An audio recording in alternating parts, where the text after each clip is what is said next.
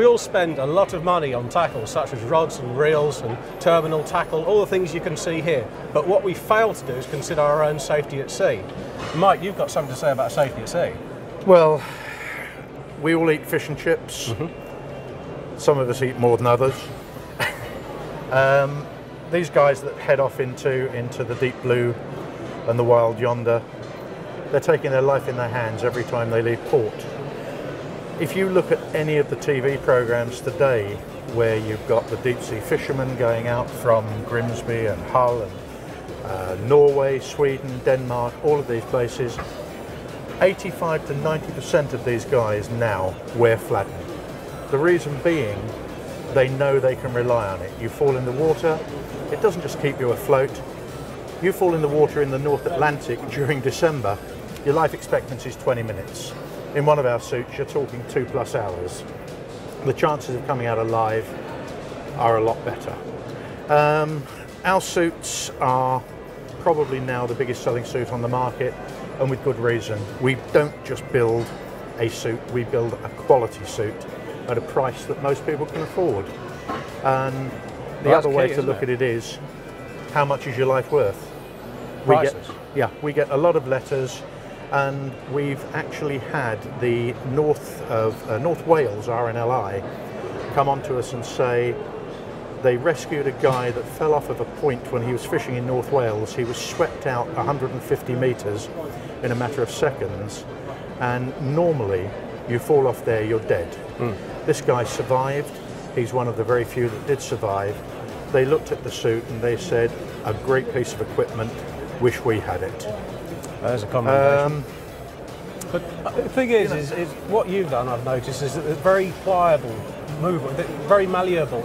Yeah. So probably people will say, they often say to me, "Oh, I can't stand wearing those things. Well, I tell you Yeah. what, you're out on the beach, all the rocks, all the boat, wherever, on a pier, and you wrap yourself up in one of these. I reckon, well, I know you can move freely in them, the you whole can cast. point, the whole point is, look, And you're going to keep warm. they're soft, they're warm.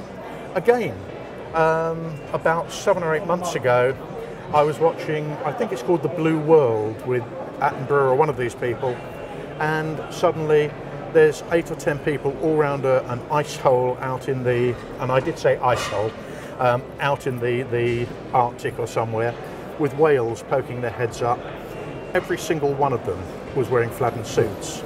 A few weeks before that, all of the, the young royals from the house, uh, the royal house in Denmark, Norway, and Sweden, they, they were larking around on the ice and snow. And what were they wearing? Fladen flotation suits. Uh, it really is, it's the suit of choice. I'm going to say that because I own the company, but I'm also saying it because it's the truth.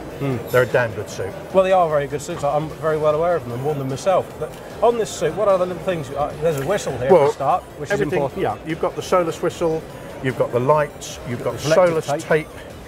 Everywhere you look, there's SOLAS tape. Not the cheapest stuff in the world. It's all very we don't well. cut back on it. Because, uh, it's all very well being in the sea, floating around, and you can't be seen. Head You- headlight of Yep. any boat, helicopter, Yeah. that'll glint from miles and miles away. Well, so does that. Believe Yes. you and me, that stands out. It's not the thing if you want to go down to the pub and creep home without being seen by the wife, don't wear one of these. That's right. And so, just to finish this up, we've got a, a one-piece version here, Yep. and we've also got uh, We've got the kind of a of two-piece. really, isn't it?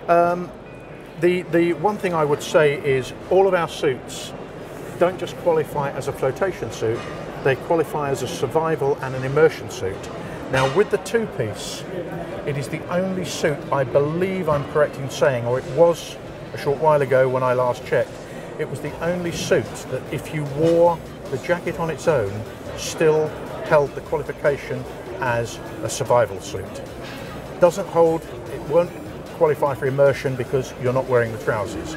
But just the jacket will still keep you afloat and help you survive. Well, that's absolutely perfect. So, play safe, get safe, don't go fishing in cold, damp, or afloat without one of these on because it might just well save your life.